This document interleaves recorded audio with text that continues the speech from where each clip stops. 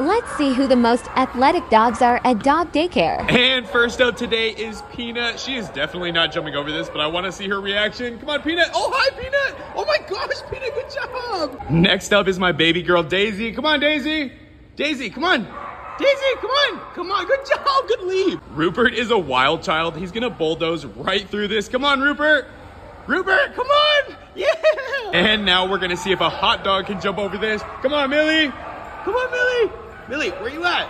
Millie, come on, jump, do it, do it, yeah! And here is my favorite wiggle butt, Harley. Come on, Harley. Harley, come on, come on, Harley. Jump over it. Oh, that was good. as thick as Turk is, he's pretty athletic, so I have high hopes for him. Come on, Turk. Turk, come on. Come on, Turk. Oh, good job. And next up is Queen Potato herself. Come on, Penelope. Come on, Penelope. Come here, Penelope. Come on, jump over it. Oh, oh that was good enough.